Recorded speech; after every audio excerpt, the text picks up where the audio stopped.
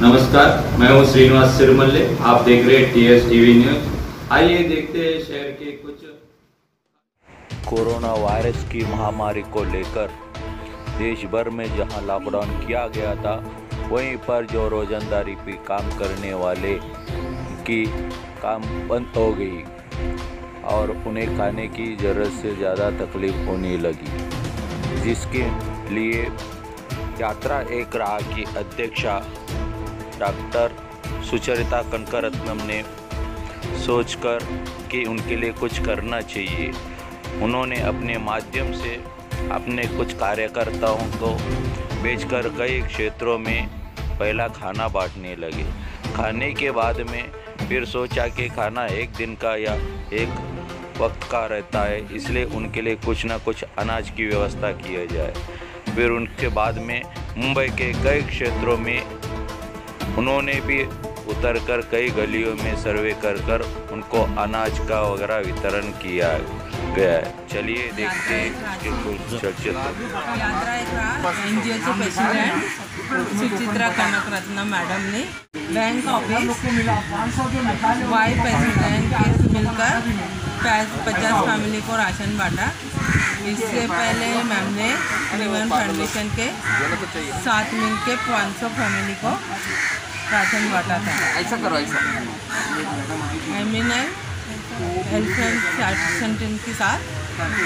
मिलकर 300 लोगों का राशन बांटा था। बाकी उसमें सब कुछ था। दाल चावल तेल ये सब था।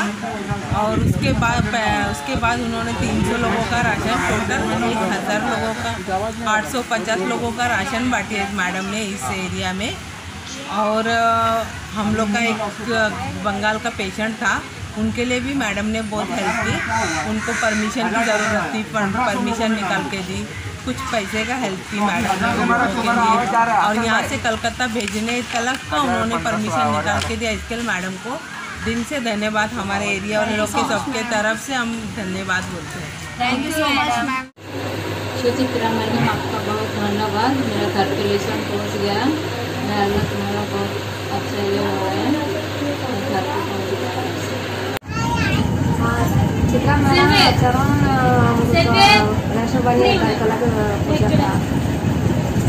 मैडम, आपका राशन मिला हम लोग को, सेवन नाम का लड़का, हमारे को राशन ला के पहुँचाया।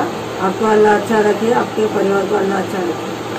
सुचिता मैडम, तुम राशन दिए सब बाई लेकर दिए तो उसी तरह मैंने कहा और मदद करो हम लोग के हाँ तो अच्छा रहेगा मैडम, आपका बहुत धन्यवाद, बहुत अच्छा है। हम लोग ये सरवड़ा बहुत मदद करता। मदद करता है हम लोग लड़का। सुचित्रा मैडम, आपका बहुत बहुत धन्यवाद। आज हमको घर पे बैठे श्रवण राशन दिया है। मुझे चलने नहीं होता। वो घर तक राशन दिया, आपका परिवार और श्रवण का परिवार दोनों अच्छे से रहे। यही हम लोग आशा करते भगवान के पास मैडम आपको सेवन नंबर रुपये हमको राशन घर तक पहुँचाए आपका बहुत शुक्रिया சுசித்ரா மேடம் ரேஷன் எடுத்துட்டு வந்து சரவணம் கொடுத்தா ரொம்ப நன்றி உங்க பிள்ளைங்க நான் நல்லா இருக்கும் சுசித்ரா மேடம் சரவண ரேஷன் கொண்டு வீட்டில் போச்சாச்சு ரொம்ப நன்றி சுசித்ரா மேடம் ரொம்ப நன்றி சரவணம் ரேஷன் கொடுத்தா ख्वाजा हुसैन शेख है मैं इंदिरा नगर में रहता हूँ हाजी बंदर रोड सिवड़ी ईस्ट में हम लोग रहते हैं। तो हमारे पास जो लॉकडाउन जो कोरोना की वजह से जो लॉकडाउन हुआ है लॉकडाउन की वजह से जो रोज़मर्रा के जो गरीब लोग थे कमा के खाने वाले थे तो इनका हालत ख़राब हो गया था। क्योंकि कहीं से मजूरी नहीं है ना पैसा आने का है ना कुछ भी नहीं है तो इनका हालत कैसा बहुत ख़राब हो गया था।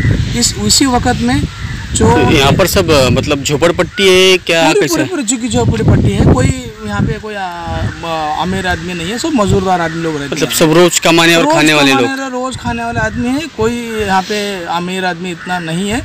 कोई रहेंगे तो भी रहेंगे इतना नहीं है। जो मजदूरदार है झुग्गी झोपड़ी पट्टी है भाई। रोज कमा के रोज खाते हैं। तो इनके बहुत परेशान हो गए थे ये लोग पूरी परेशान हो गए थे जिसके पास अनाज बनाज कुछ नहीं था। तो कोई और भी संस्था थी इधर उधर से कोई थोड़ा बहुत खाना मिलता था खाते थे दिन निकालते थे। उसी वक्त में आ, हमारे लोग कुछ संस्था के संपर्क में थे। तो उस संस्था ने जो सुचित्रा मैडम करके आ, है तो उनका संस्था है एक यात्रा एकता करके। तो वो संस्था के तरफ़ से मैडम ने ऐसा मदद का हाथ बढ़ा दिया हमारा एरिया में इंदिरा नगर में।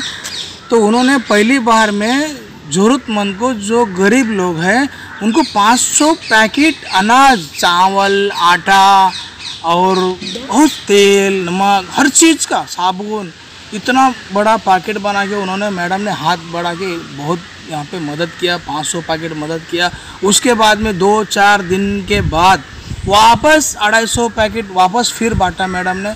मतलब बहुत अच्छा बहुत अच्छा काम किया, बहुत अच्छा बोला तो बहुत अच्छा। इस वक्त बहुत परेशान थे लोग उस वक्त। बहुत मतलब परेशानी में थे, राशन नहीं था, क्योंकि उनको खाने की नौबत बहुत भारी पड़ रही थी। वो जो खाना देते थे वो खाने में भी कुछ उनको टेस्टी नहीं आता क्योंकि देखो, घर का खाना बना के खाते हैं ना लोग, वो चटनी क्यों खाना खाना खावे तो उनका वो बात अलग ही होती है, उनको पेट भरता है। जो खाने में क्या होता है, उनको टेस्ट नहीं आता खाने में। जो बाहर से मिलता है, मदद, कोई भी खाना बांट रहे, बहुत से लोग खाना बांट रहे खाने में थोड़ा बहुत उनको ये होता है। जो राशन दिए ना, ये बहुत बड़ा उन्होंने सबाब का काम किया है मैडम ने। बहुत अच्छा काम किया। अभी तक साढ़े सात सौ पैकेट उन्होंने बांटा है। और भी उनका मकसद है कि और भी मैं सुना कि मेरे दोस्त उनके साथ में जुड़े हैं खाना वो भी, भी लाके बांट रहे हैं तो उन्होंने बोले कि और भी मदद करना है उनको और अढ़ाई सौ पैकेट या दो चार दिन में उन्होंने बांटना है। बांटेंगे बोल के बोले हैं।